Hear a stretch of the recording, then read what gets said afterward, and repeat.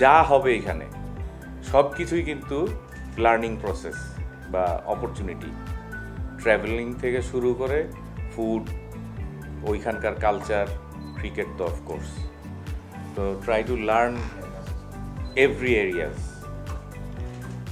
মানুষের সাথে মিশো, ওইখানকার লোকাল মানুষের সাথে যখনই পাবা ইন্টারাকশন করো, আলাপ করো, অনেক কিছু জানতে পারবে। ইটস নট অনলি ক্রিকেট তোমার জীবনের জন্য এটা ইম্পর্টেন্ট ফর ইয়ার লাইফ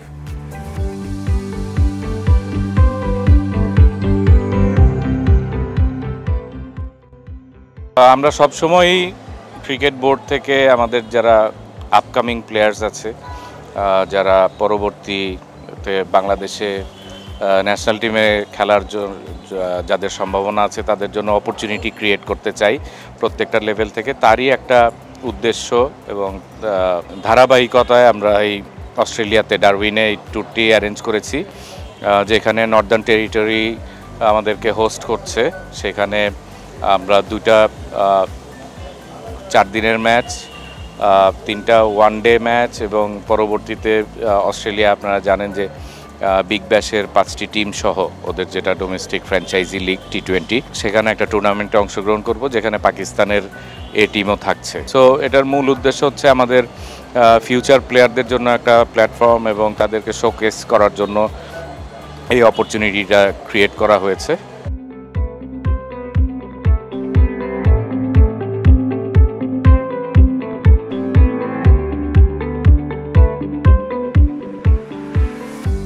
আসলে অস্ট্রেলিয়ার ট্যুর কিন্তু আমাদের বাংলাদেশ যে কোনো স্টেজের জন্যই একটা বড় ট্যুর বলতে হয় বিকজ আমরা কিন্তু বাংলাদেশ টিম আসলে অনেক দিন যাবত এখানে খেলার সুযোগ হচ্ছে না।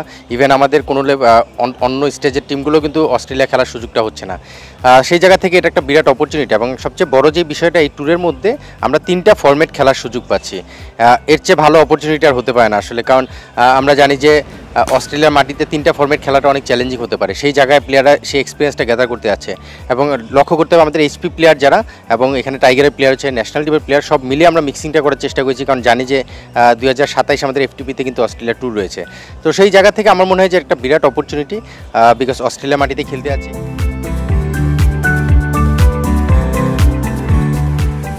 আমার মনে হচ্ছে ক্রিকেটারদের জন্য বিভিন্ন কন্ডিশনে খেলার একটা চ্যালেঞ্জ থাকে। তো অস্ট্রেলিয়া একদম সম্পূর্ণ নতুন একটা কন্ডিশনে খেলতে যাচ্ছি। তো আমার মনে হয় যে কন্ডিশনের যে ব্যাপারটা থাকে, এখান থেকে আমরা আমাদের জন্য এই ট্যুরটা অনেক হেল্পফুল হবে ইন টার্মস অফ কন্ডিশন জানা, বোঝা এবং ওই কন্ডিশনে অ্যাডজাস্ট করে খেলার জন্য।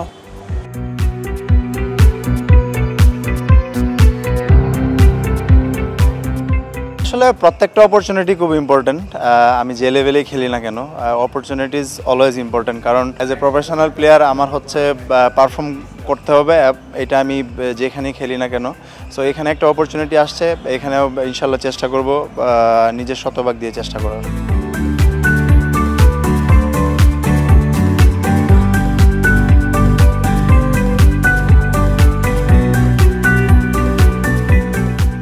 আলটিমেটলি গোল তো হচ্ছে যে পারফরমেন্স করা ভালো খেলা।